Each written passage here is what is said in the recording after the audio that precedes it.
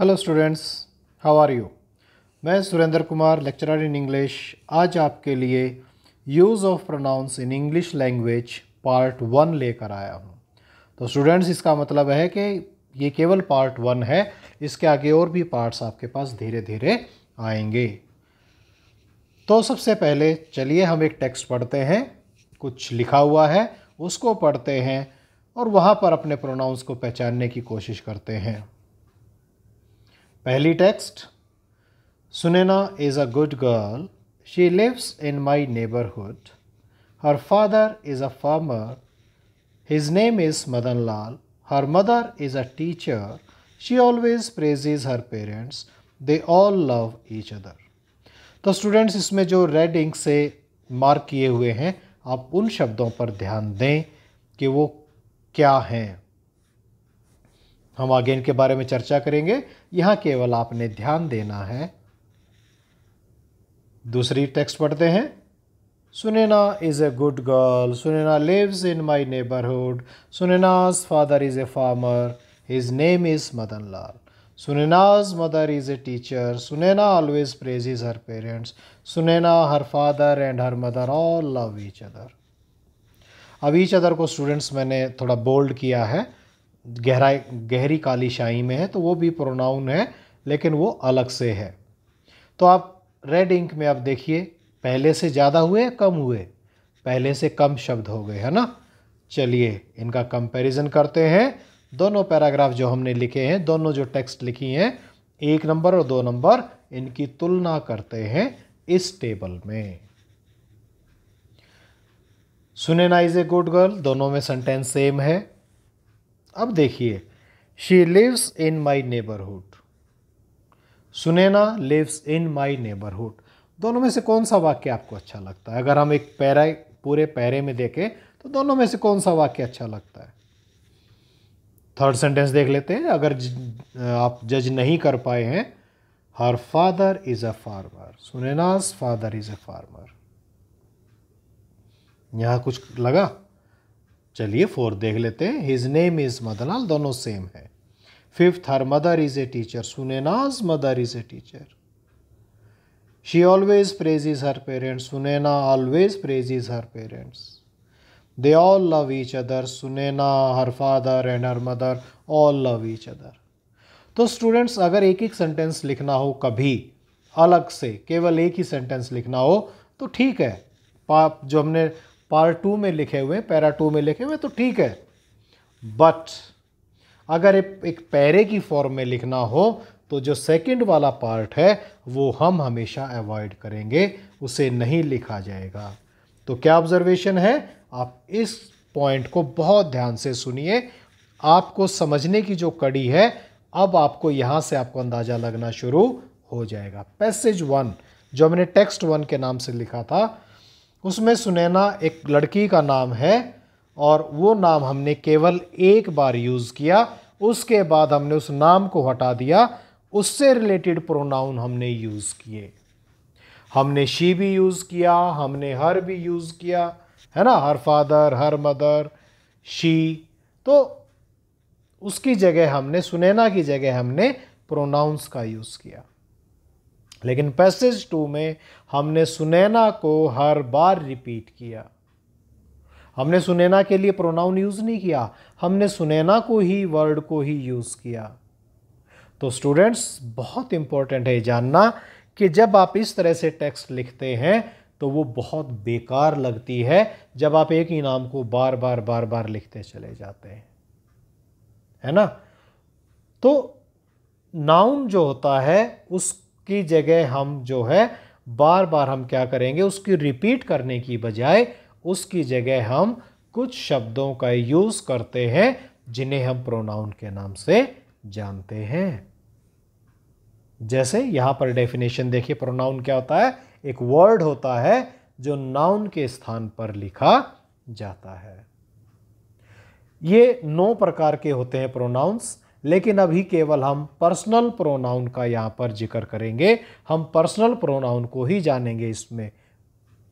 बाकी कौन कौन से हैं? दो नंबर पे इंटरोगेटिव है रिलेटिव है डेमोन्स्ट्रेटिव है डिस्ट्रीब्यूटिव है इनडेफिनेट है रिफ्लेक्सिव है रेसिप्रोकल और एम्फेटिक है। लेकिन हम अभी केवल कंसर्न किससे हैं? पर्सनल प्रोनाउन से कंसर्न है। तो चलिए पर्सनल प्रोनाउंस को जानने का प्रयास करते हैं। तो पर्सनल प्रोनाउंस जो पर्सन से रिलेटेड होते हैं, तीन प्रकार के हैं। फ़र्स्ट पर्सन यानी बोलने वाला या नरेटर सेकंड पर्सन सुनने वाला। थर्ड पर्सन जिसके बारे में बात कर रहे हैं और जो वहाँ पर प्रेजेंट नहीं है। थर्ड पर्सन में कौन कौन से आएँगे? He she it they first person में आई और वी, सेकंड पर्सन में यू होगा। तो इसको और आगे थोड़ा सा क्लियर करते हैं, थोड़ा सा और आगे समझते हैं। स्टूडेंट्स, ये टेबल आपके लिए बहुत इंपॉर्टेंट है। इस टेबल्स को अगर आप समझ गए तो आप सोचिए कि आप प्रोनाउंस के जो मुश्किल है ना, जो जटिलता है, उसको आप बहुत अच्छे से समझ पाएँगे। यहाँ थोड़ा सा टाइम लगाइएगा और मेरे साथ इसके साथ साथ चलिए। फ़र्स्ट पर्सन में हम बात करते हैं आई और वी की। लिखे हुए ना आई और वी। ऊपर देखिए सबसे ऊपर एज सब्जेक्ट आई और वी को समझिए अब। आई सिंगुलर होता है, वी प्लूरल होता है। मैं हूँ तो मैं एक हूँ, एक से ज़्यादा है तो वी हो जाएँगे। इसका सब्जेक्ट के तौर पे यूज़ करते हैं, यानी इनसे वाक्य शुरू होगा। ये वाक्य में वर्ब से पहले लगेंगे आई और we I am a boy we are students अगर हमें आय का ऑब्जेक्ट बनाना है तो हम लिखेंगे मी क्या लिखेंगे? मी he gave me uh pen और अगर हमें इसी आई का पॉजेसिव केस यूज़ करना है तो हम बनाएँगे माई क्या बनाएँगे? My this is my house है तो मेरा ही. माई हाउस मैं. मेरा. है ना? तो इस तरह से आप अलग करेंगे, आप डिफरेंस बनाएँगे। यानी आई को आप सब्जेक्ट में यूज़ करेंगे, लेकिन अगर आपने ऑब्जेक्ट में बनाना है तो आप मी लगाएँगे। अगर आपने पॉजेसिव यूज़ करना है तो माई बनाएँगे। सेम वी सब्जेक्ट है। अगर आप इसे ऑब्जेक्ट के तौर पे यूज़ करेंगे तो क्या बनेगा? अस बनेगा। और अगर आप इसे पॉजेसिव यूज़ करेंगे तो क्या बनेगा? आर बनेगा। ओ यू आर एग्ज़ाम्पल मैंने साथ साथ लिखे हुए आप देखिए कहाँ यूज़ हो रहा है। Our school my house my school my pencil तो ये पॉजेसिव शो करता है। है ना? मी आई का ऑब्जेक्ट है। अस वी का ऑब्जेक्ट है। यू में थोड़ी सी सुविधा है। यू का सब्जेक्ट भी वही है और यू का ऑब्जेक्ट भी वही है, लेकिन पॉजेसिव केस में क्या बन जाता है? Your y o u r second person हो गया आपका। थर्ड पर्सन में चलते हैं। लड़का है तो ही लड़की है तो शी लड़का मतलब मेल लड़की मतलब फीमेल कोई भी फीमेल की साइड में। शी एक लड़का एक लड़की है दो लड़के, दो से ज़्यादा लड़के, दो से लड़कियाँ, दो से ज़्यादा लड़कियाँ हैं मिक्सअप है तो दे हो जाएगा, यानी दे प्लूरल हो जाएगा। और इट है तो किसी बच्चे के लिए या किसी पशु के लिए इट का इस्तेमाल करते हैं। ही सब्जेक्ट है। अगर हमें ऑब्जेक्ट बनाना हो तो क्या बनाएँगे? हिम बनाएँगे। और पॉजिटिव केस बनाना हो तो क्या बनाएँगे? हिज बनाएँगे। एग्ज़ाम्पल देख लो। ही लाइक्स मैंगो सब्जेक्ट है। वर्ब से पहले लगा हुआ है तो सब्जेक्ट हो गया।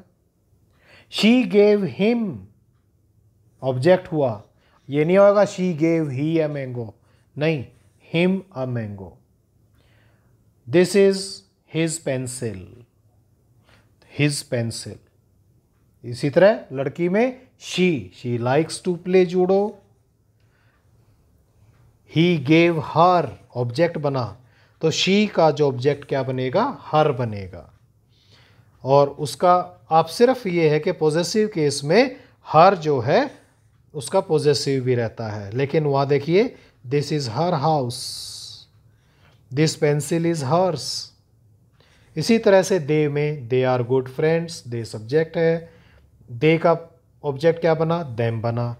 वी ऑल लव देम और दे का जो पॉजिटिव केस बनेगा तो क्या बनेगा? देयर बनेगा। थर्ड पर्सन में एट एट और एट्स होगा। तो ये आप स्टूडेंट्स बहुत ध्यान से इस पॉइंट को बस आप दो ये जो स्लाइड हैं, इन दोनों पे बहुत ध्यान लगाइए। अगर आपको बार बार सुनना पड़े तो बार बार सुनकर एक बार समझ लीजिए। एग्जाम्पल्स देख लीजिए। आई लव माई कंट्री अब इसमें प्रोनाउंस क्या है? आई और माई आई और माई कौन से पर्सन में है? फ़र्स्ट पर्सन में है। तो आई फ़र्स्ट पर्सन सब्जेक्ट है माई फ़र्स्ट पर्सन पोजेसिव है। She gifted me a pen she third person है सब्जेक्ट है। मी फ़र्स्ट पर्सन है, लेकिन ऑब्जेक्ट है। दे सोल्ड देयर हाउस तो दे और देयर ये आपके प्रोनाउंस हैं। दे कौन सा है? थर्ड पर्सन सब्जेक्ट और their third person possessive you love your country तो प्रोनाउन कौन कौन से? यू और योर कौन से पर्सन में है? सेकंड में है. यू सेकंड पर्सन का सब्जेक्ट है और योर सेकंड पर्सन पोजेसिव है. तो बहुत सिंपल हो जाएगा आगे जाके. तो स्टूडेंट्स आपके लिए एक एक्सरसाइज बनाई है. देख लेते हैं. लेकिन स्टूडेंट्स ध्यान रखें. जैसे ही मैं नेक्स्ट स्लाइड कंप्लीट करूँगा, आप अपने वीडियो को पॉज कर देंगे, उसको रोक देंगे. मेरी आवाज़ सुनने के बाद आप उसे वीडियो को वहीं पर रोक देंगे उससे अगली स्लाइड पर नहीं जाएँगे, मैं आपको इंडिकेट भी करूँगा। क्यों रोकेंगे? क्योंकि आपने उस एक्सरसाइज को वहीं सॉल्व करना है, उसी जगह पर आप सॉल्व करें उसको, और सॉल्व करने के बाद आप वीडियो को प्ले कर दें तो आगे हम आपको आंसर बताएँगे। लेकिन प्लीज़ उससे आगे ना जाएँ, क्योंकि आपको पता नहीं लगेगा कि आपको प्रोनाउंस के बारे में कुछ नॉलेज हुई या नहीं हुई, वहाँ पर आंसर जाकर आप चेक करेंगे। चलिए। स्टूडेंट्स, यहाँ पर आपने प्रोनाउंस को आइडेंटिफाई करना है, जो सेंटेंस मैंने दिए हैं। मैंने आपके लिए दस सेंटेंस दिए। पहला she is absent from school she is absent from school आपने प्रोनाउंस बताने हैं यहाँ पर। और वो प्रोनाउन का फ़ंक्शन क्या है, वो भी बताना है।